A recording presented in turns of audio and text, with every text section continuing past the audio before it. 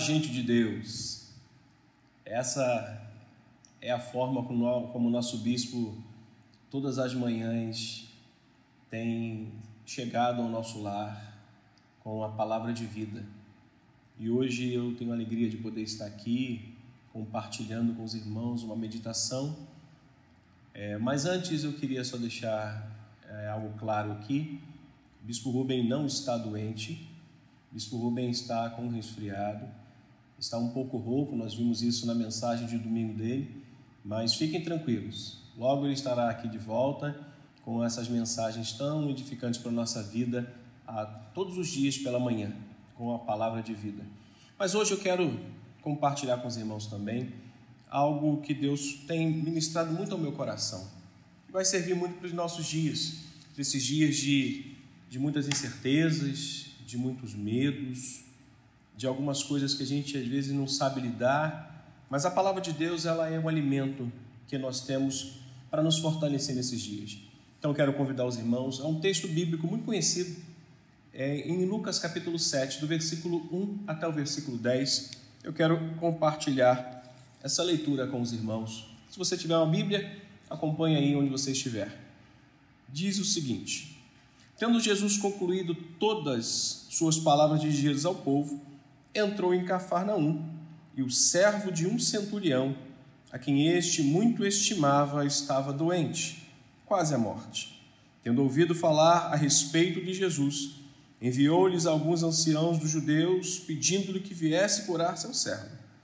Esses, chegando-se a Jesus com instância, lhe suplicaram, dizendo: Ele é digno que faças isso porque é amigo do nosso povo e ele mesmo nos edificou uma sinagoga. Então Jesus foi com eles. Que palavra maravilhosa! E já perto da casa, o centurião enviou-lhes amigos para lhe dizer: Senhor, não te incomodes que eu não sou digno que entres em minha casa. Por isso eu mesmo não me julgo digno de ir ter contigo. Porém, porém manda uma palavra Manda uma palavra e com essa palavra o meu rapaz será curado. Porque também eu sou homem sujeito à autoridade e tenho soldados às minhas ordens. E digo a este: vai, e ele vai. E outro vem, ele vem. E a meu servo faze isto, e ele o faz. Ouvindo essas palavras, admirou-se Jesus dele e voltando-se para o povo que o acompanhava, disse: Afirmo-vos que nem mesmo em Israel achei fé como esta, e voltando para casa, os que foram enviados encontraram curado o servo do centurião. Meus irmãos, o tema que eu quero deixar hoje nessa palavra de vida na manhã é compaixão. Compaixão é a tônica do capítulo 7. Se você puder observar com todo carinho na sua casa, nós vamos ver que o capítulo 7 ele tem diversos personagens com diversas situações diferentes, em que Jesus os trata com a mesma compaixão oferecida a outro. Então, a tônica do capítulo 7, que é um exercício para a piedade cristã, é compaixão, essa graça maravilhosa de Deus que nos oferece por meio desses textos maravilhosos. E como é que a gente vai ver Jesus exercendo esta autoridade dele, esta compaixão dele. Nós vamos ver isso com quatro pessoas, com quatro situações distintas. A primeira delas nós acabamos de ler, que é um servo de um centurião que estava doente, e este homem, como ele tinha um desejo de é, ajudá-lo, ele vai em busca de Cristo, em busca de Jesus, da informação que ele tem, e vai até este homem chamado Jesus para curar o seu servo, que estava doente.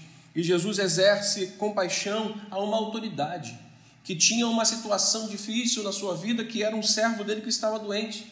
Então hoje nós temos visto que essa doença que hoje assola a humanidade, ela não tem escolhido pobre, ela não tem escolhido rico, ela não tem escolhido pessoas de classes média ou alta ou altíssima, não, são todos todos nós. Então aqui nós vemos que a autoridade que estava sobre aquele homem não imunizou, não impediu de ter alguém próximo a ele, buscando, querendo uma, uma cura precisando de algo, e este homem vai recorrer exatamente a Jesus.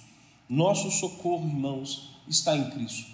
Nós devemos recorrer somente a Ele, porque Ele tem a palavra para a nossa vida, Ele tem a palavra de vida, Ele tem a palavra de restauração. Mas nós vemos também a compaixão de Jesus, aqui nesse texto, nessa narrativa, aqui em todo o capítulo 7, com uma mãe, uma mãe que estava ali é, sepultando o seu filho. Diz o texto lá no capítulo 7, a partir do versículo 11, que Jesus estava ali entrando na cidade quando via ali um cortejo, um enterro ali, e ele foi aquela mulher. E a, a palavra do Senhor diz aqui, o texto diz no versículo 13: Vendo-a, o Senhor se compadeceu dela e lhe disse: Não chores. Meus irmãos, que coisa maravilhosa. É Ele quem toma a iniciativa de ir àquela mulher, é Ele que trouxe para aquela mulher uma palavra de consolo, dizendo: Não chores. Foi Ele que promoveu um milagre na vida daquela mulher e foi Ele que restituiu a alegria daquela mulher em face da sua, da sua tristeza, da morte do seu filho. Meus irmãos, diante da doença, Ele é Senhor, diante da morte, Ele é Senhor, confie nisso. E Ele mostra que Ele restituiu a alegria daquela mulher. Diz o texto, versículos 15: Sentou-se o que estivera morto e passou a falar.